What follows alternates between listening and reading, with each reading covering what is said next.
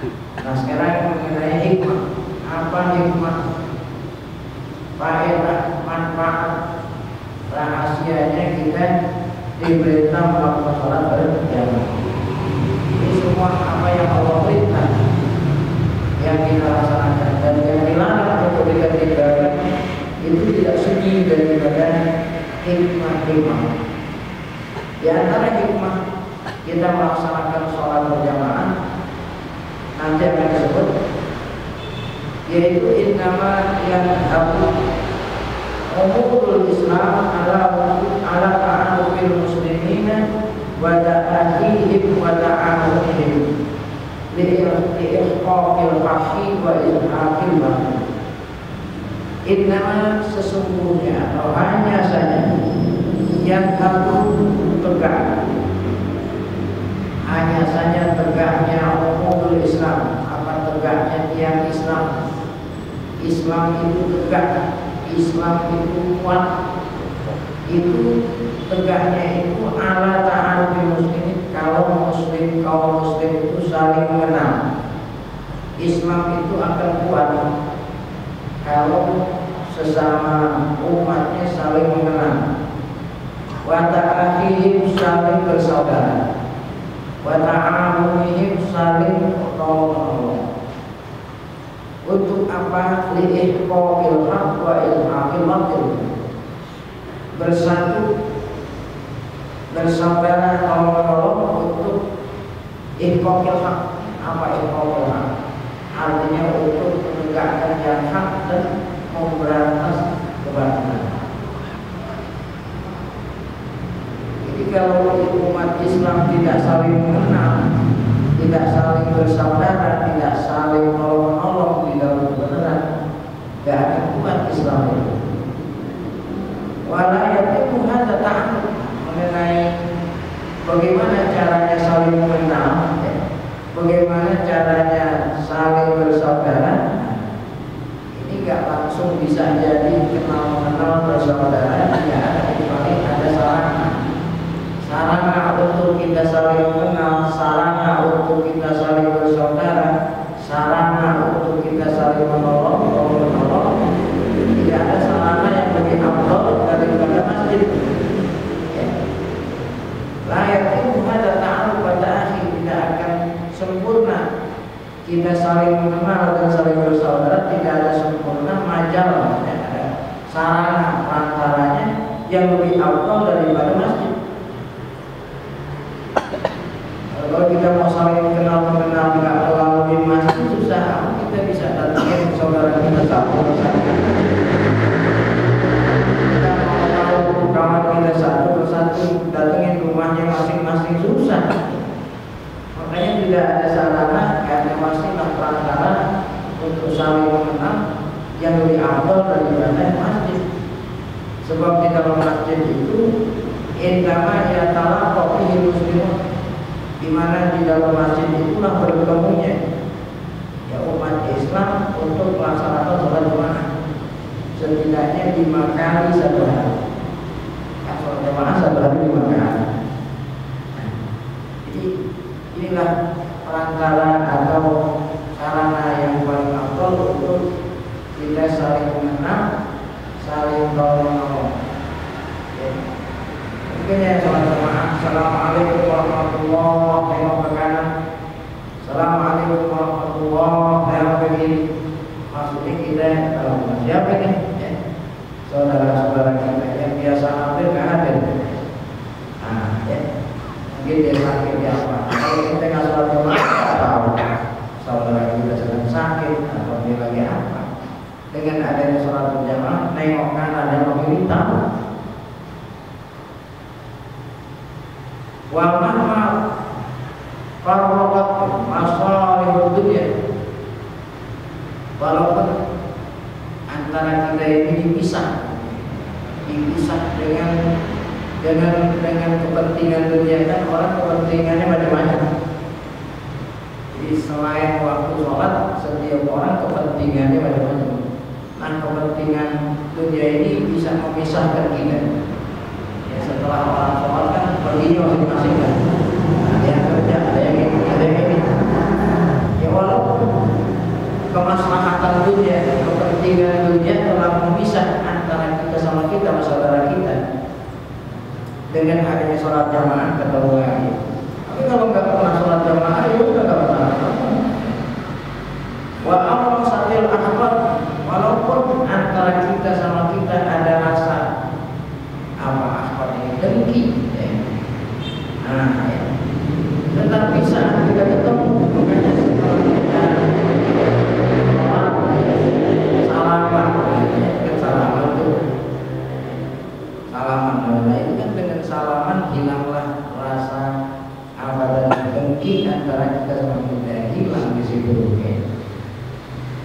Tuh, walau Allah sadar ahmad di musik walaupun di hati kita ini orang tidak sunyi daripada dengki saudara semua mesti ya gitu ya nah saat kita bertemu salaman hilang rasa dengki Wa inna fi sabatihim ala talaki bisolaman Kalau umat Islam selalu tetap selalu tetap bertemu ketika melaksanakan sholat berjamaah. Ma yuwazibu bainahum min hablil bukhra. Inilah yang nanti akan ya dengan sebab kita bertemu saat melakukan jamaah itu yang bisa merobek hablil bukhra merobek ya apa namanya merobek pagar merobek apa namanya hambatan untuk kita saling berpisah artinya pada sebab kita berjamaah maka tidak ada pokok nah, pokok pokok tidak ada tidak bercerai-cerai. Wa yudibu min qulubihim al sehingga dengan sebab berjamaah juga rasa dengki ada dalam jadi kemaslahatan kepentingan dunia adalah memisah antara kita dengan saudara kita.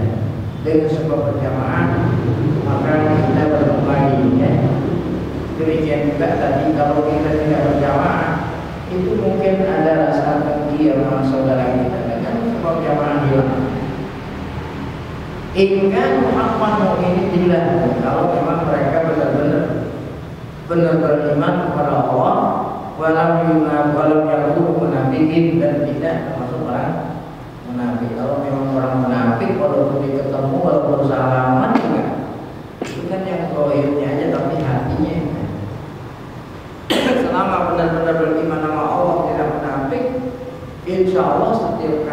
bertemu saat melaksanakan sholat jamaah itulah yang menyebabkan kita saling bersaudara dan tidak ada rasa benci.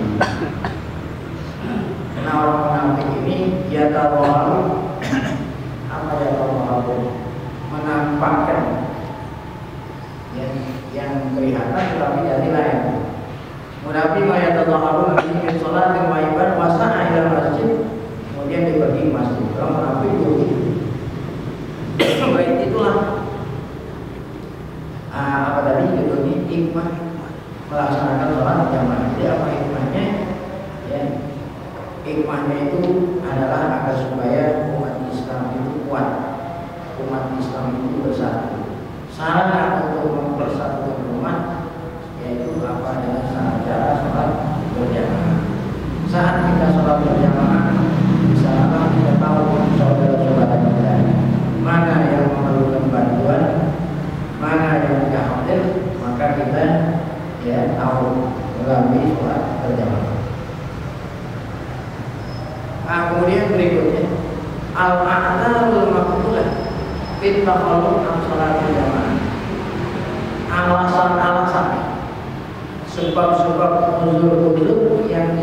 terima tidak melaksanakan sholat jamaah.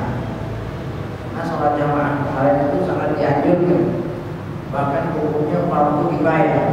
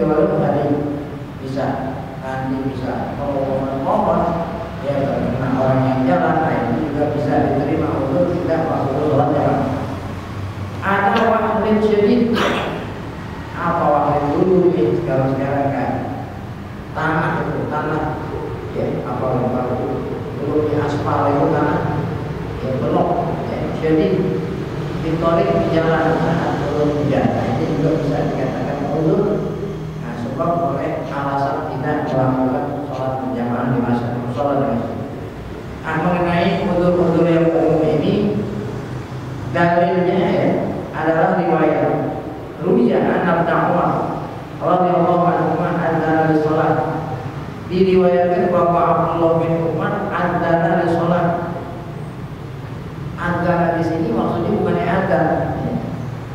mengumumkan ya. mengumumkan pada saat melaksanakan sholat Bilai nanti dan dibanding oleh pada malam hari di mana udaranya dingin dan apa udaranya dingin apa anginnya kencang ya. Nah ini Abdullah bin Umar mengumumin dari masjid apa pengumumannya itu bunyinya. Beliau berkata, ala sholhu dirham, ala sholhu dirham apa artinya ala sholhu ala ya kalau ini namanya huruf istiftah ya, atau huruf tanpi ya. perhatian perhatian begitu ya. Tolong diperhatikan pengumuman pengumuman sondu lihat sholatlah kamu di rumah kamu masing-masing. Sholatlah di rumah masing-masing.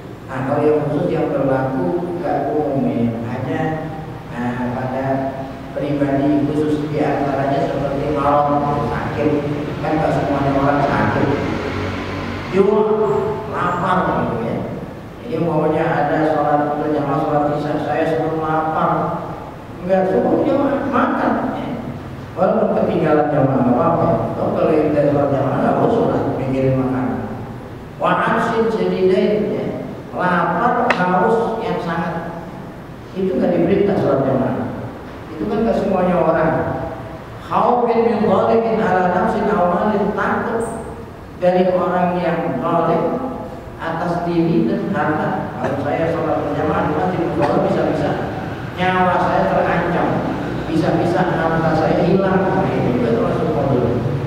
Ada lagi pengendapan adat min bawulin awalnya menahan adat baik itu ya baul menahan air kencing atau menahan buang air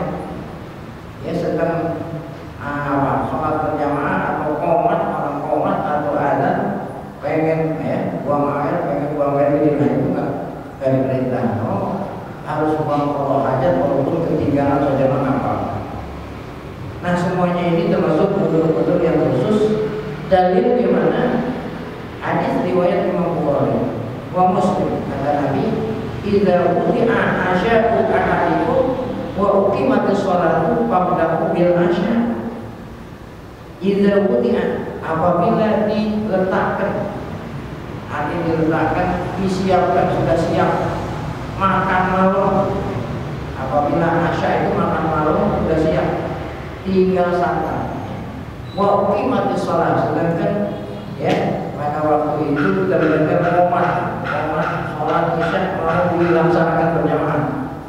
Maka maka apa yang kita dahulukan apakah sholat berjamaah dulu atau makan di sini? Pada util asya dahulukanlah makan asya maka kalau itu ketinggalan sholat berjamaah. Walayak jalannya jangan terburu makannya pun jangan terburu biasa-biasa saja. Hatta yang pulau itu sampai selesai makan. Kalau memang nanti keburu sholat di masjid berjamaah sholat. Kalau memang tidak ya nggak perlu sholat berjamaah. Nah, nah ini ini kalau memang sudah disiapkan makan tanpa sengaja.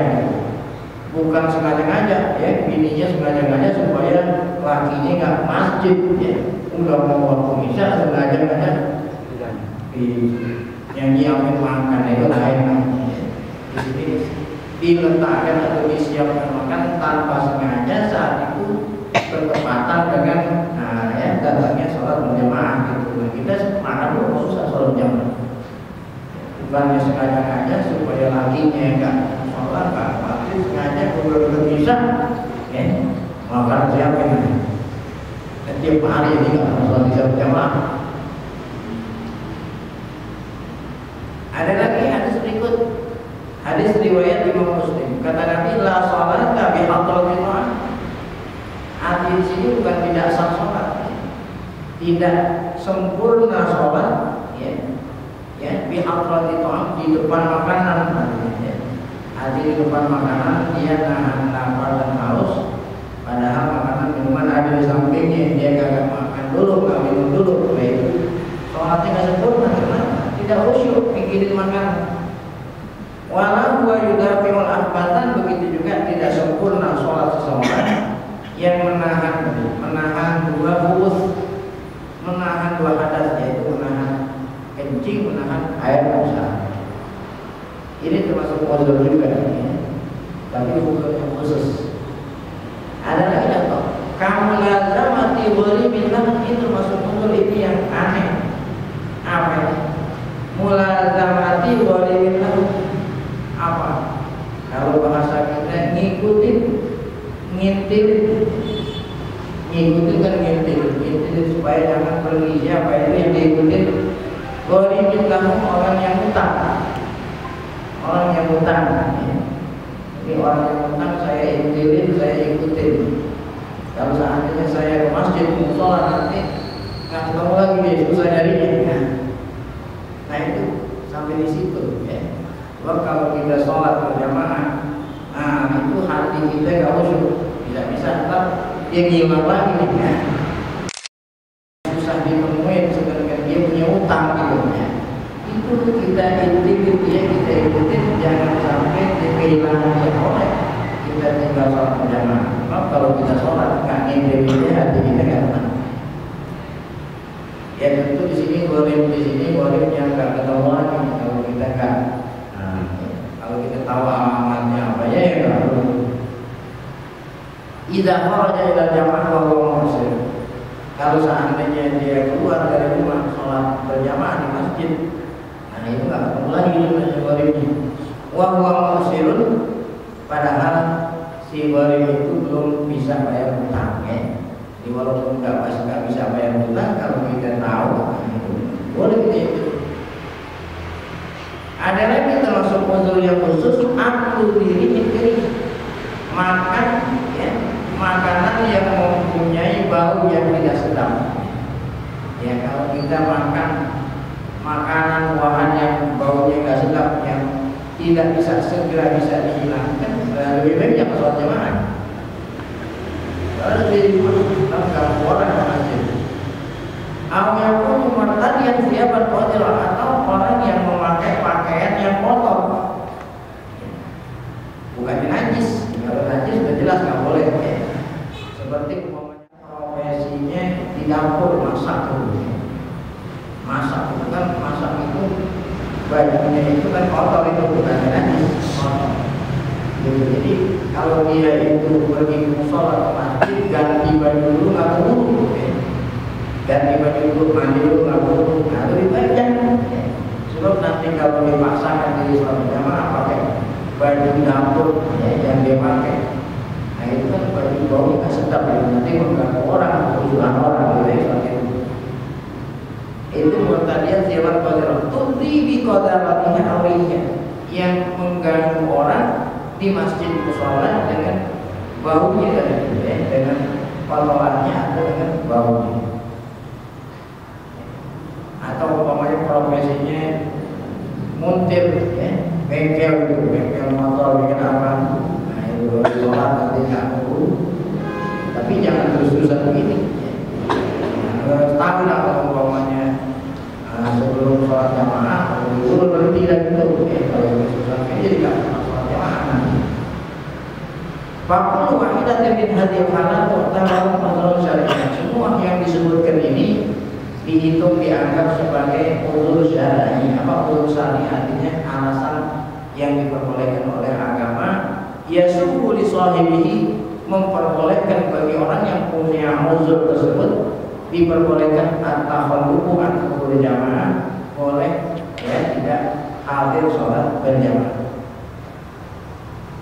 Ada lagi hadis riwayat Imam Bukhari dan Muslim. An Jabir radhiyallahu taala anna Nabi sallallahu alaihi man akala tuman siapa orang yang makan bawang putih? Bawang putih ya ini kan bawang putih baunya itu ya. Nah bau ini menyengat itu kan semuanya orang suka bau bawang putih. Apalagi mentah ya. Waki sawi itu yang disebut dalam hadis bawang putih. Karena yang ada waktu itu bawang putih. Penting ada di ya. Jengkol nggak ada itu ya. Kalau tanya waktu itu ada jengkol orang penting orang lagi itu orang jengkol yang ada waktu itu bawang nah kalau yang disebut bawang putih bukan berarti yang lainnya boleh. Waki sawi itu sudah dikiaskan lainnya bawang putih minal adal alaihi daripada segala macam udur-udur kata Nabi palyak tazirna orang yang baru orang yang makan bawang putih. Itu kan bawang putih makan bawang putih nggak bisa segera hilang baunya.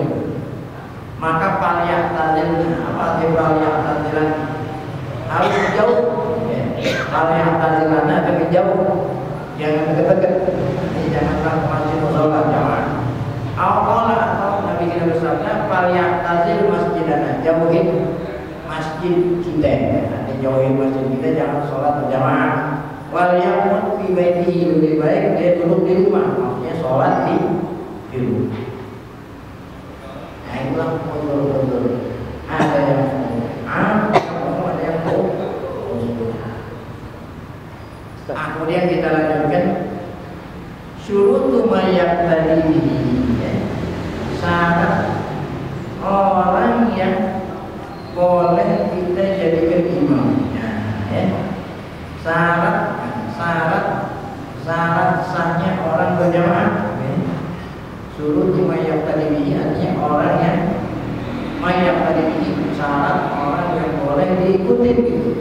maksudnya diikuti jadi jadi apa itu syaratnya ya la budda biman yakunu imaman wajib orang yang menjadi imam sholat an tatawat fihi syurutun ayat wajib memenuhi syarat-syarat tertentu aksaruha nisbiyah ya kebanyakan syarat ini nisbi ya.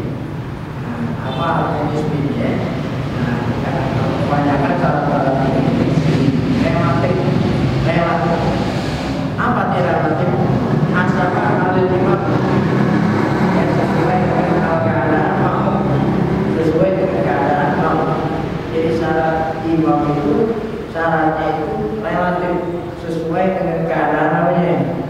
Makmumnya ketika lihat sesuai dengan keadaan makmum. Wa nulaqisu hampir umur kalian. Kesimpulannya adalah sebagai berikut. Satu syarat. Orang yang boleh kita ikuti jadi Allah ya'lam al-muqtadi putlana sholat imam Syarat yang pertama Orang yang mengikuti Muqtadi itu yang mengikuti Apa yang mengikuti? Makmum ya. Kan makmum mengikuti Jangan sampai Makmum itu Ya tidak tahu Putlana sholat sholat imam ini Batal sholat imamnya Apa jadinya? Artinya makmum itu tahu kalau imamnya itu sholatnya sah imam itu sholatnya sah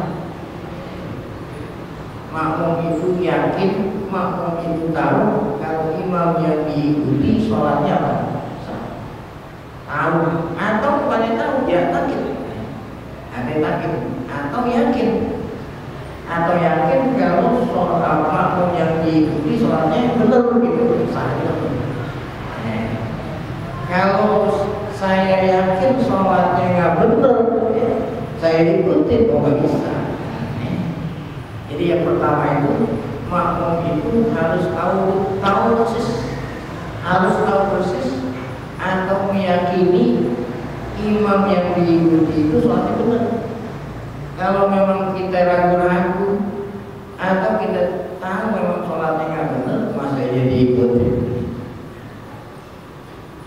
di sini maksudnya itu sesuai dengan ya keyakinannya makmum kan itu mengikuti madhab syafi'i. Gitu. Kalau itu mengikuti madhab syafi'i berarti yang kita yakinin imam yang sama seperti madhab kita. Tapi kalau seandainya imamnya madhabnya Hanafi dia baca fatihah tidak baca bismillah. Alhamdulillahirabbil alamin. Saya mengikuti madhab syafi'i menurut keyakinan saya kata Imam Syafi'i bismillah itu adalah satu di antara ayat suratul Fatihah. Apabila seorang baca fatihah tanpa membaca bismillah berarti kan fatihahnya kurang. Nah, sedangkan fatihah ini kan rukunnya sholat. Orang yang sholat fatihahnya kurang berarti sholatnya gimana nah eh nah itu sih maksudnya jadi syarat sahnya imam yang diikuti harus sesuai dengan keyakinan saya. Saya yakin sholatnya imam ini benar. Tapi kalau saya nggak yakin karena orang yang nggak baca Bismillah menurut Imam Syafi'i kan nggak boleh ikut. Itu itu maksudnya nisbi ya, sesuai dengan keadaan makmum kecuali kalau sesama dia. Makmumnya Hanafi imamnya Hanafi memang memang menurut kalangan mereka walaupun nggak baca Bismillah tetap sah. Nah itu benar ya. tetapi kalau makmumnya Syafi'i menurut keyakinan saya orang yang tidak baca Bismillah berarti kurang fatihahnya yang boleh saya ikutin itu ya. Bukan artinya batal masalah yang lain ya. Batal masalah yakin dia itu sudah batal bukan maksudnya itu maksudnya si makmum ini meyakini imam yang diikuti itu sholatnya benar menurut mazhabnya gitu. Jadi dia misal contoh ini bukan masalah Bismillah. Misalnya contohnya ayat tidak seseorang berijtihad ijtihad masalah ini masalah jihad kiblat ya. kalau ada dua orang ada di suatu tempat di mana dua-duanya nggak tahu mana kiblat ya kalau ada masjid dan musola udah tahu katanya ada di sini. Kita sholat di hotel umpamanya di hotel kan nggak ada kiblat itu mana kiblat nggak tahu kita di di suatu kota apa yang memang nggak ada tahu mana kiblat ada dua orang. Itu sebelum sholat harus ijtihad dulu. Nggak boleh nggak boleh sholat enggak ijtihad dulu. Dua orang nggak tahu arah kiblat nah sebelum sholat harus ijtihad dulu menurut saya kiblat sholat menurut yang satu kiblatnya di Ramadan beda itu nah fakta pada perlu min humanan al kiblat fi jihati ghairil ladzi pada apa dua orang yang berijtihad masalah mana menghadap kiblat kedua-duanya berbeda. Yang satu mengatakan kiblatnya ke sono, yang satu mengatakan kiblatnya ke sini. Nah, malah yang itu ayat saja nah, dalam masalah ini nggak boleh yang satunya jadi imam, yang nggak boleh yang satu jadi paham ya? Ada di suatu tempat orang berdua, sedangkan dua-duanya ini nggak tahu arah kiblat kan sebelumnya sholat ijtihad dulu. Ijtihad artinya ijtihad ya dari yang satu mengatakan arahnya sini. Hasil ijtihadnya. Yang satu hasil ijtihadnya. Nggak boleh satu jadi imam nggak boleh yang satu jadi imam. Kenapa nggak boleh? Karena kalau saya jadikan dia sebagai imam menurut saya ijtihadnya salah. Ya kan ijtihad masing-masing demikian juga saat saya yang jadi imam yang satu jadi imam nggak boleh juga. Kenapa? Karena menurut dia kiblatnya salah. Ya. menurut saya di sini kan nggak bisa. Nah kecuali kalau memang ijtihadnya sama ya. Nah ini yang dimaksud yang pertama seorang makmum itu harus seirama seirama dengan imamnya ya. kalau dia itu yakin imam yang diikuti salah nggak boleh diikuti. Nah itu sama seperti ini tadi.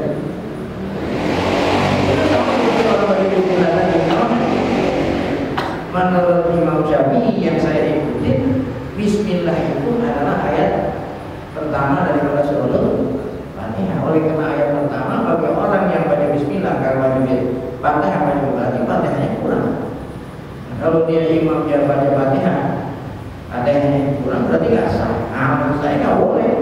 Nah orang yang kayak model begitu nggak boleh kecuali kalau sesama dia. Kenapa di sini nggak boleh satu mengikuti yang satu mengikuti? Ini anak pelan rumah ya tadi itu anak akal mukti. Ya alasannya karena tiap-tiap satu dari yang satunya salah. Dia yang benar men nah salah soal tadi masalah apa yang benar? Yang salah yang benar masalah menghadap kiblat. Tadi kan contohnya kan kiblat. Wa anna sholatahu ila tilkal jihad ghairu sahihah bahwa sholatnya imam bukan dengan arah seperti hasil ijtihadnya sholatnya nggak benar. Nah itu gitu. Ya. itulah salah kita jadi harus sama-sama seirama saya yakin dia itu sholatnya benar-benar mantap saya nah, itu yang pertama ya. Syarat yang kedua Allah yakuna umiyan wal muqtadi jangan sampai imamnya itu orang umi ya. apa umi artinya bacanya nggak benar dengan imamnya bacanya benar imamnya bacaannya nggak benar. Sedangkan makmumnya bacaannya benar. Nah nggak boleh. Kecuali kalau sama-sama.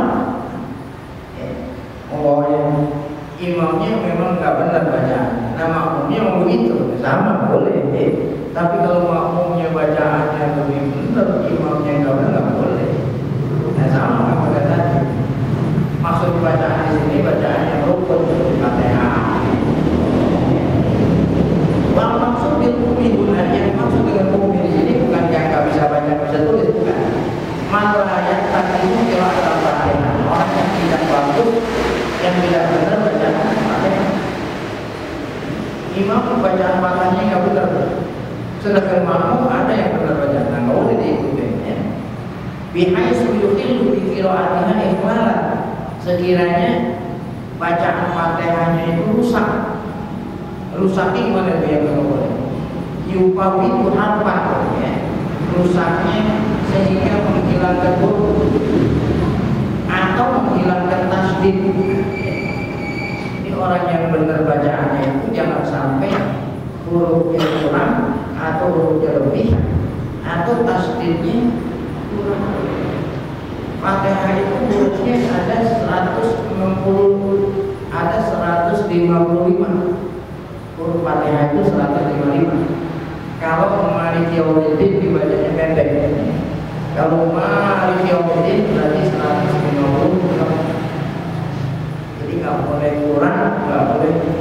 Kalau seandainya imamnya ini bacaannya nggak benar sehingga menyebabkan huruf apa hurufnya itu berkurang atau bertambah nggak benar. Atau tasdid kalau tasdid itu ada 14 Tasbih di dalam ada 14. Kalau seandainya kurang, berarti bacaan ya, seperti Ar-Rahmanir-Rahim banyak Ar-Rahmanir-Rahim. Kan nggak ada tasbih. Iya kan aku baca iya kan aku iya kan saya.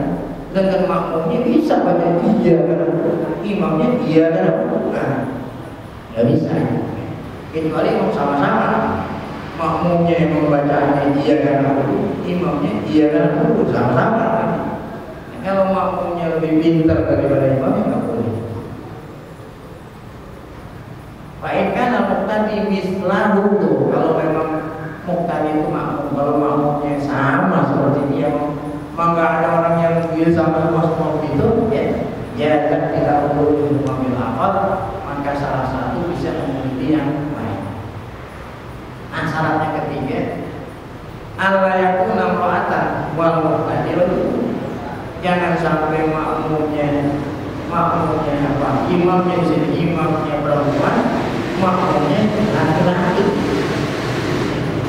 Ini kan dikatakan ada yang boleh itu yang imamnya perempuan makmumnya perempuan laki-laki laki-laki.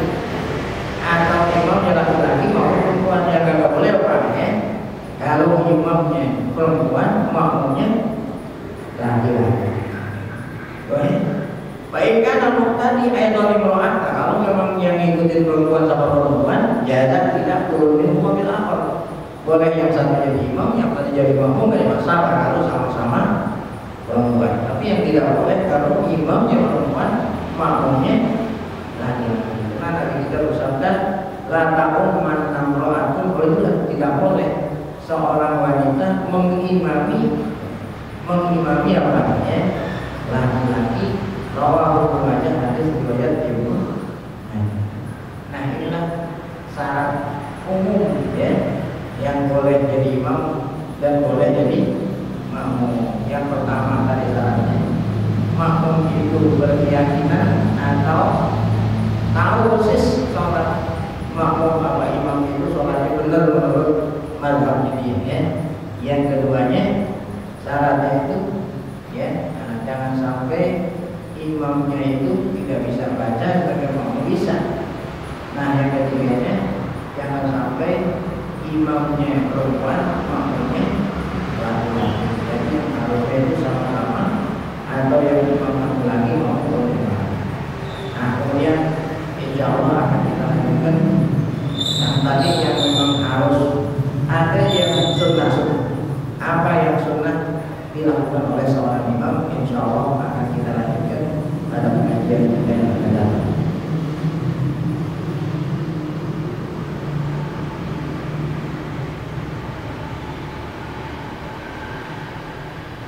yang ini mungkin saat jika tidak ada kematian pakai ya Jadi kan imamnya mau baca mungkin pelan kali saja Ya.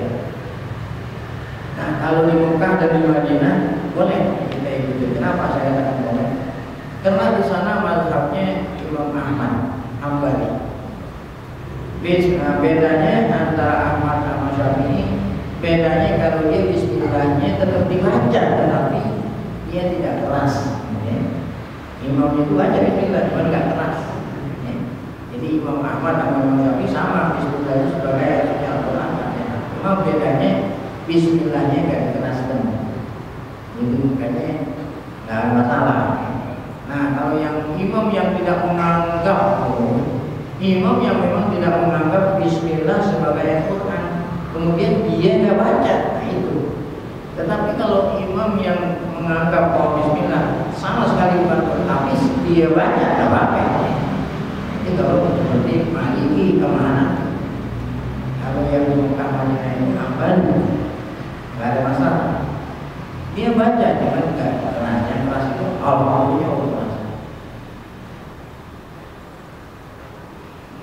Ustaz, kalau misalnya kita sudah sudah masuk ke dalam saf, setelah dilihat ternyata imam itu menghadapi miring, sedangkan kan makmum lurus. Itu kan berarti beda jihad kan.